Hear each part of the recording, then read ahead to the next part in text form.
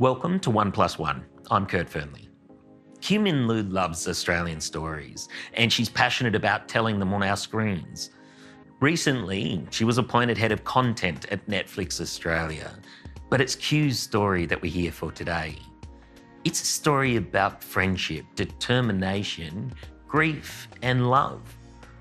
About being the daughter of Vietnamese refugees, losing her husband, and trying to shape the way that we see ourselves on TV.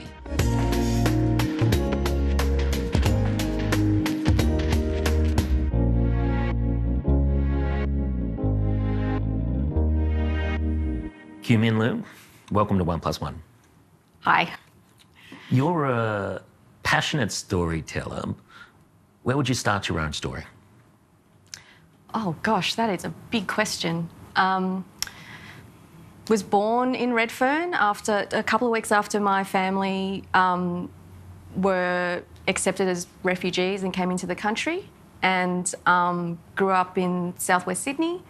Um, watched a lot of TV as a kid, and um, you know, uh, just tried to fit in as much as possible. That's where it starts, really. I think me, my mum, two sisters, my dad, and uh, yeah, it was that for a while.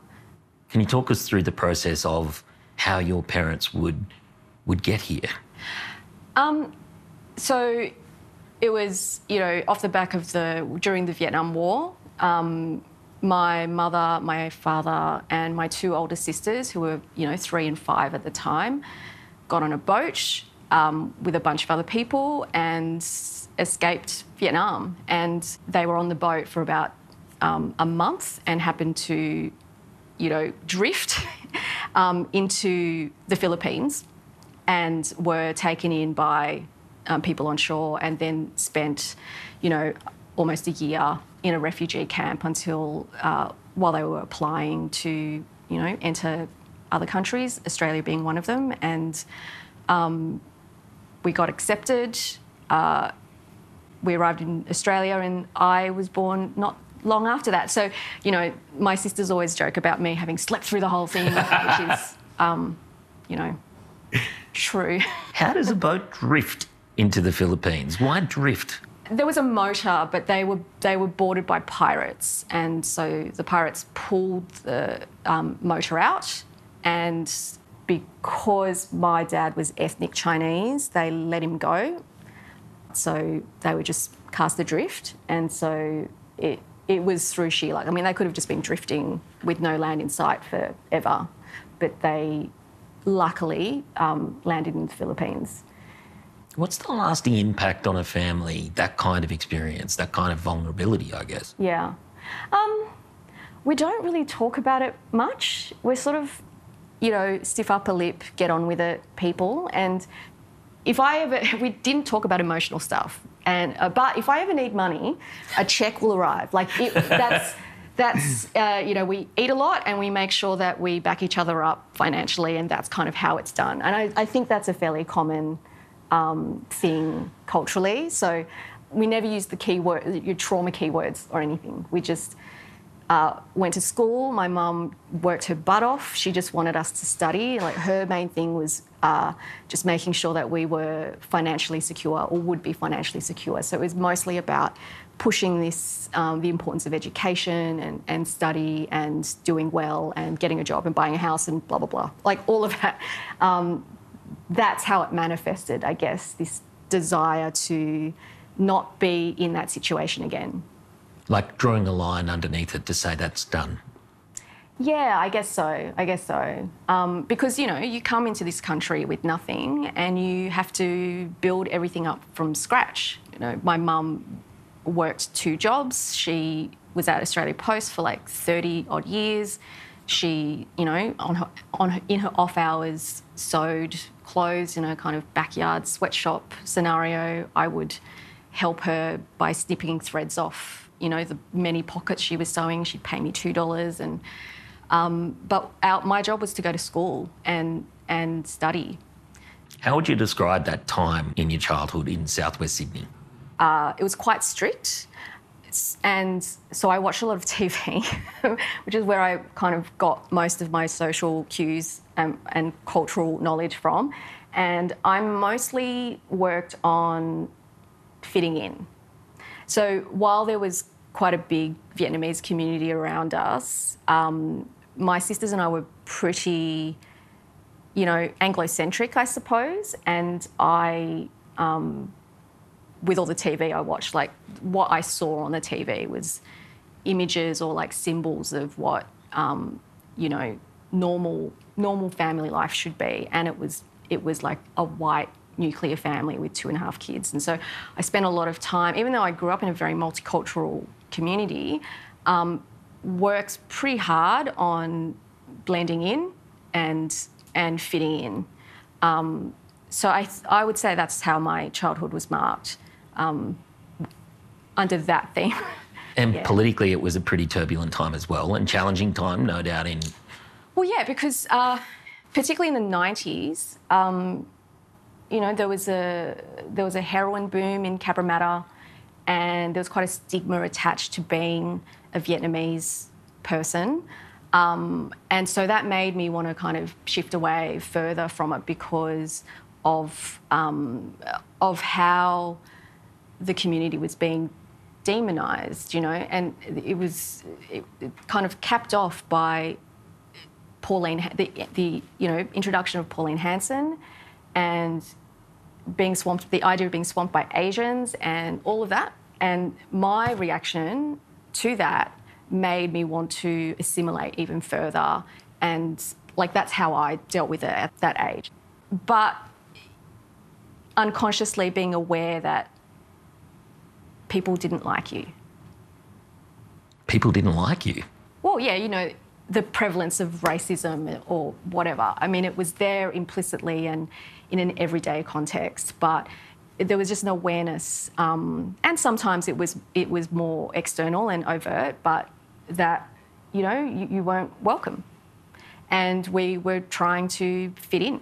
So, or I was anyway. So it's you know it's a weird it's a weird place space to be existing in where you're you're trying to be accepted and knowing that you're not as well. So I grew up not really seeing people with disabilities on TV. Although there was Professor Xavier in X Men, Mm. Yeah. and Pretty cool, yeah. and there was uh, there was a, a, a Andrew in Heartbreak High, Yeah. who was in a wheelchair. Yeah. Did you see people like yourself on TV when you're growing up? Look, Heartbreak High was a real moment for me as well because the Asian characters I saw on screen were always boat people who didn't speak English.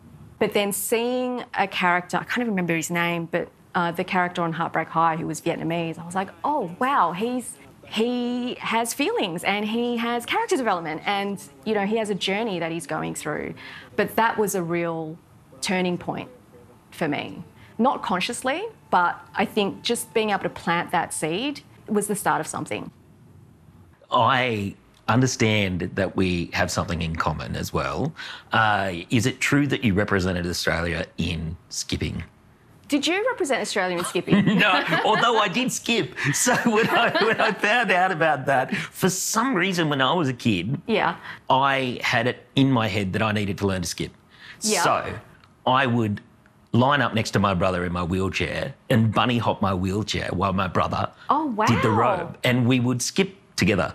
That's awesome. So you did So- go to a world championship? I did, yeah. I don't know how I landed there, but it, the, my skipping journey started with um, in my early twenties. I didn't, I didn't, uh, I was, it wasn't something I did from childhood, but I met a a group of young women who I was loosely connected to, and we had decided that we were going to start this jump rope, this double dutch group. We performed at Federation Square, we did the Adelaide Festival, we did all this stuff. Then we imploded, but I just loved skipping.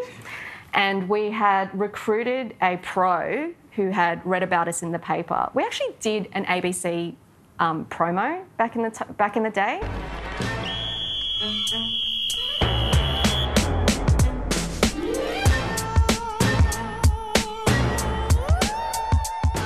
That's how I fell in love with it and met this pro skipper who said, you know, our team, the Hip Skips, is uh, going to compete in the World Championships.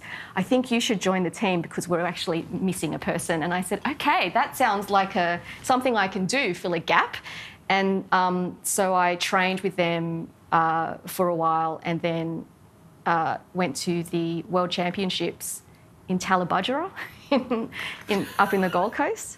How'd It's you go? hilarious. We came 10th um, in the world, which is great, until I tell you that we, that we, were, we were, it was 10 out of 10 groups. Look, I got ducks in my high school, um, in my primary school. Yeah. There were, but there were two people and equal ducks. But not everyone needs to know that. No, no, no, no. So maybe edit that part out. Just, we came 10th in the world out of 10. But yes. How did you find your way to the arts? Um, as a an avid TV watcher as a kid, I just wanted to be in film or television or one of those things. Maybe it was some weird, you know, I must recreate what being a normal person is like on screen or something. Um, but I studied a media degree, which is not quite arts, so that was okay. I made films there, met some great people there, and decided I would go into editing because it was a part of filmmaking that required using computers, which which I thought I'd be able to get past my mum. And so, uh, you know, my, my motivation was really about being part of creating those images and symbols of what life was like. Again, I didn't think of it that way then, but I realized, you know, through lots of therapy, that's that's kind of what it was. Um, and the way I worked my way into it without pissing my mum off too much um, was work with computers and become an editor. Yeah. Can you tell me about uh, how you met your husband, Jesse? beautiful, beautiful meet cute story. We were both volunteers at FBI Radio in Sydney, and I was producing the film show, and he was producing an audio documentary show called All the Best that he had started with a, a few other people. And our shows were back to back, so I would meet, I would see, we would see each other in the producer booth as we crossed over um, on a Saturday morning, and that's how we met and um, yeah, that's it. Kind of spiraled from there. You would also have a, a child, Yeah, Alfie. yeah. How how did that? I don't know. How did that affect life? How did that change things? Um, yeah, it was because uh, Jess was a bit younger than I was, and um, uh, he had sort of just figured out that by the time I was 35, I would probably want to have a kid. And I was like, oh, yeah, okay, really now? And he's like, well, you're 35. So we did it, and I did not expect it to change my life as much as it did. Um, very naive, but uh, I found it quite hard. Just the just the shift in life, and I realise now as someone who is you know has ADHD, not a big deal, but like now I'm like, oh, that's why I found it so hard because the reprogramming or reinventing and designing your entire life to be responsible for this other person was extremely unmooring and challenging for me. And so I, I struggled with it for a while. And uh, yeah, thankfully Jess was there because he was he could he can organise his way through anything. Um, so he really carried a lot of it um, uh, during that time. But uh, that was that was year one of, of parenting. Oh yeah, never again. Six weeks into it, we were like, let's never do this again. um, yeah. Uh, It's almost like you prepare so much for that day of birth, and then it's the Yeah, I mean, I was like, most my biggest concern was like, how do I get this out of this? And so Big any- concern. Yeah, and so any any reading I did was around that. What you did with the kid afterwards, I didn't really think about. I was just like, get it out. So. Um, uh, it, it, I, I was wholly unprepared. I don't think you can ever really be prepared until it, you know when when it happens. But uh, yeah, very naive of me. And there's all well, like life, there's always something that pops up. Yeah. Jesse would become become ill. Um, can you talk us through what that was? So yeah, it's just before, like as I was getting out of, you know, that first year of parenting, and Alfie was about to turn one. Um, Jesse checked on a lump in his leg, and uh, one thing led to another, and we realised that he had, well, we just he was diagnosed with this very uh, rare sarcoma. Um, so he had this really rare cancer, um, and that was uh, that adding that layer of of how what to do about it um, on top of having a toddler was was um, not an experience I would recommend. Um, but yeah, w- he was diagnosed and he needed to have surgery to get the tumour out, and then it was just a process of how do we, of watching it and and making sure it didn't spread, and which it did, and you know trying to find different treatments for that and keep the home fires alive, have our careers, take care of a kid, you know all of that stuff. It was, um, yeah, not ideal. When you're going through that, what do you what do you use to get you through? Was humour ever in there? Yeah, I mean, I think that's a, a very Australian thing. It's just you always have to crack a joke in the middle of of, of tough stuff, you know. When his um, tumour was taken out, we didn't know if he was going to have a leg, or whether it, he would have a leg and it wasn't going to work, or whether he'd be fine. And we're like, okay, what happens now? Like, we live three floors up in a in a flat, and how do we deal with that? Like.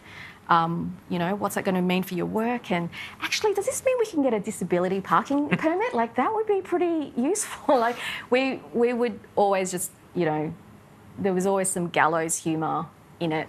My my wife says she married me for the parking. It's look, it's a very attractive. It's it's a, it's a very attractive thing. Um, you would uh, Jesse would pass away. Yeah. Um, how long after would that happen? So that it was about two years, two and a half years after. Oof, just under two years, actually. Af- After we after we got the diagnosis. As a community, I don't know whether we deal with grief very well, um, but how did you deal with the grief? Uh, um, look, I had a very tight support network around me. Um, mostly, you just. I, I mean, I was still having to take care of my kid and make sure he was okay and answer all the questions. Um, and, uh, you know, it was just about being as normal as possible, as regular as possible, while um, being carried basically by a group of really close friends. Um, so, you know, I mean, the first part was like just organize the funeral. Like, how do you do that? What what kind of stuff do you have to do when someone dies? Like, there's so much death death admin that has to happen that you don't really think about. Um, and he did, you know, like a week before he died, he was like checking up on the passwords and making sure I had everything. And I was like, you know, you'll be here for 20 years, it'll be fine. And um, I think he just understood what was what was going on. So yeah, I mean, it was like, okay, I'm responsible for this, I suppose. Like, what happens with the mortgage? It was, it was practical dealing with the grief, um, and uh, you know, lots of lots of therapy.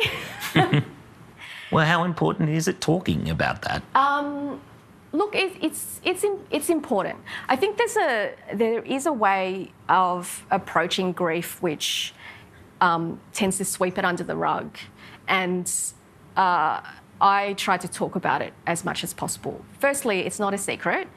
Um, uh, secondly, it helped to talk about him. Sorry. No, take your time. It's not something that stops. No. Okay, hang on.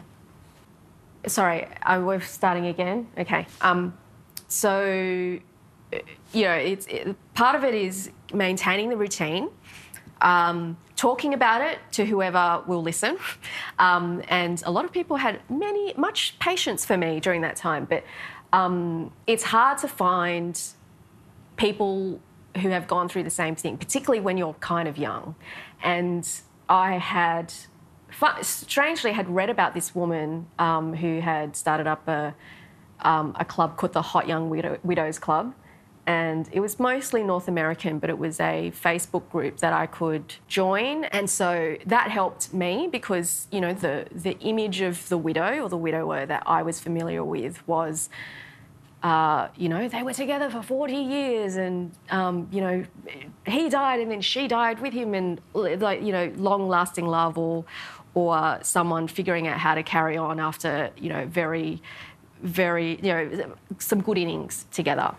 And so uh, my experience was uh, not something I was familiar with. It's not something you see very often of, of spouses or partners passing away um, or dying, which is my preferred word, um, uh, when you'd, you'd barely started the journey. So, yeah, it was a it was a good group of like-minded people. I didn't feel like talking, but it was just nice to be part of it in a in a in a place where you could crack a joke as well. the tone of it was right for me. It was like there was a sense of humour about it. How hard was it to talk about grief with your child? Well, my kiddo was, he was two, and he, at that age, you, they are able to compartmentalize the emotional and the practical side of things. So, you know, he was there throughout the hospital and the goodbye and the funeral, and um, he understood that dad had died, and uh, the it's not the most fun thing in the world, but it, my job was just to answer the questions. So it was explaining um, and never uh, trying to deflect from the questions, um, repeating them as often as he needed, and always being clear that dad had died or dad's body had died. We said goodbye. This is how it happened. And, you know, going through the photos whenever he wanted and des- describing them and, and all of that. So going through that with him, and I mean, it always sucked when the photos ran out, but uh, just repeating it as much as you needed. You've uh, you've made an effort to create modern modern stories, stories that you wouldn't have seen as a kid. What are you most proud of creating so far on TV? Um, I've only really created one thing, which was a show called The Heights, which was on ABC, and I created that with a friend and colleague, um, uh, Warren Clarke, who who was the showrunner of that show, and we didn't ever want to, you know, for want of a better phrase, like bang on about diversity with the show, but we wanted it to be, you know, the real Australia. Um, whatever that is, our interpretation was one that was like very multicultural, um, very inclusive, um, one that showed, you know, it was set in a, a public housing tower um, and that was surrounded by a rapidly gentrifying neighbourhood. And it was like this, you know, what does the imagine like the upstairs downstairs dynamic of Downton Abbey, but in 2020, you know? Um, what does modern community look like now? And we, we wanted to show a world in which there were people from all these different communities, different classes, living cheek by jowl, shoulder to shoulder, and, and finding more, more um, points of uh, commonality than difference. I'm really proud that there was like a cranky old Vietnamese woman character written into that show. that was like very important for me. It's very different. Um, and uh, uh, yeah, we wanted it to be able to do more than just tell a cracking good series of stories. So you, you don't want to bang on about uh, diversity yeah. when you were t- talking about the show. Yeah.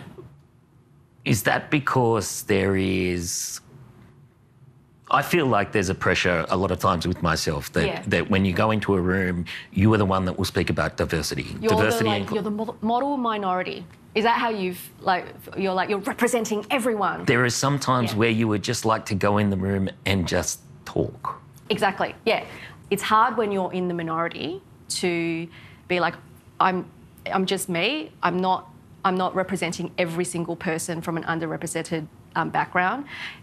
But like that is how it feels like sometimes. What have you learned about yourself through your own story so far? I okay. I have a real thing about. There's a theme in my life I think I- I've come to terms with recently, which is I have a real thing about being accepted or being part of a crew or being, you know, uh, or fitting in. And and I'm I've spent a lifetime being like, oh, do I fit in? Can I fit in? What do I have to do to fit in? Like whether or not it's you know in the dominant culture, in the industry, in the cool group, or whatever. And so when I go to parties, I'm so socially anxious because I'm like, God, you know, who's going to talk to me? Will I be accepted? But also, God, what if someone talks to me? You know, it's it's. Uh, I'm all- constantly trying to figure out where I fit in. Um, that's the big theme. Your ability to create something that makes people feel like they belong seems to be the theme to me. Yeah, and I think that is something. Not to say I've got all the answers, but yeah, I, I feel that a lot of TV up until now, particularly you know now that this pandemic pandemic has happened and everyone's had a really rough you know year, um, we have gone through so many stories on screen that are cynical or somehow like you know a bit nihilistic in how they see the world, even the comedies, and when I look at shows that are like it's really easy to be dark and dramatic because bad stuff happens to people, instant drama. What's really hard is making stories with heart and with humanity and empathy and with a sense of possibility. Like we we are missing stories that activate people. We're missing stories that galvanize us or talk about like how we belong or how we might be able to find a way forward. Netflix sets you a challenge to uh, to, to make it happen. And uh, as we look at what we're commissioning, what the team's commissioning, it's about where do we find those access points of connection and where do we leave people with a sense of possibility. So we're making our first reality show. It's called Byron Baes. It's about a group of extremely hot Instagram influencers who all live in Byron Bay. Um, you totally want to watch it. Um, it's like a no brainer, right? And yes, it is a very good title. I came up with it and I took the rest of the day off when I did. I was like, job done. But uh, what we're excited about is, you know, people love to kind of judge influencers, right? Vacuous life, whatever, you know, Insta boyfriends taking photos, fake, fake, fake. And what I would love our audiences to take away from it is a sense of um, actually, don't we all kind of fake it online? Like, don't we all curate what photos we put online? Um, they're actually we're actually a lot more connected to this group of people than we than we perhaps thought at the start, and it's it's acknowledging that everyone has depth, everyone has some kind of story, um, and it's it's embracing that rather than judging it. Que Minh Luu, thanks for joining me on One Plus One. Thank you. You made me cry too. well done.